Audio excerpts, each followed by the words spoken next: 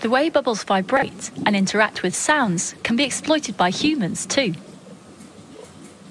Now then, I have here. Uh, This is Professor Tim Leighton, my scientific mentor and probably the world's foremost expert on bubble acoustics, the relationship between bubbles and sound. Cold water doesn't clean them. And what he's about to show me is, well, it's almost like magic. Here we have a, a, a device that we've built. It's a black cone. You could fit it on the end of a tap or in a portable on top of a fire extinguisher or something. And just cold water is coming out of it. This is an experimental rig which, thanks to bubbles, could one day completely change the way we clean things. Uh, lipstick is notoriously difficult to remove um, because it's designed to be sticky. Um, and if we take this uh, of northern kitchen towel and we were to say, right, I'm not very good writing with lipstick, say B, B, C on it, Okay. like this. And then we hold this into the stream of cold water. As expected, it stays on. It's really good at sticky.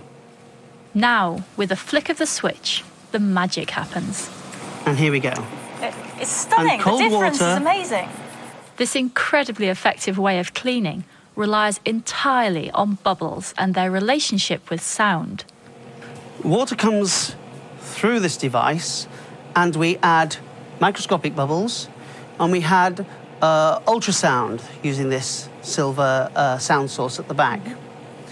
And when the bubbles hit the device to be cleaned, the ultrasound hits them and turns these bubbles from nice little balls of gas into uh, quite excitable little scrubbing machines.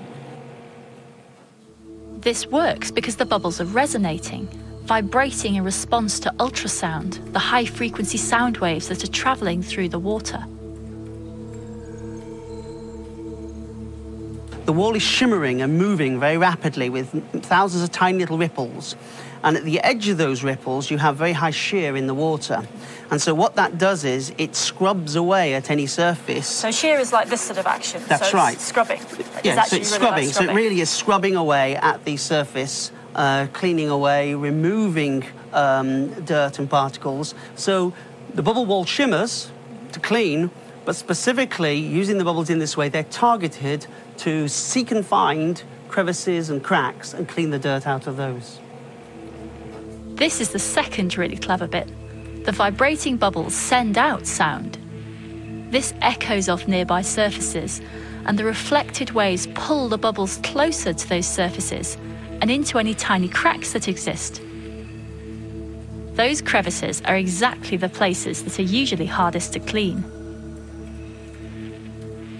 So it's really strongly attracted into that crevice and it burrows into it, keeps burrowing, digging out the dirt as it goes because its surface is shimmering. And what sort of applications has this got out in the real world? We're looking at, um, first of all, manufacturers with production lines, with big plants. Right at the other end of the scale, we would like to see one of these in every home and every hospital so that hands, scalpels, endoscopes, and anything else that you want to clean is safely cleaned. And not only that, but cleaned using cold water with very little additives so that you're not wasting water and so that you don't incur the energy bills and the, and the cleanup bill to make that water drinkable after. And all that is possible because of tiny bubbles that we can't even see. Exactly. So we're going to give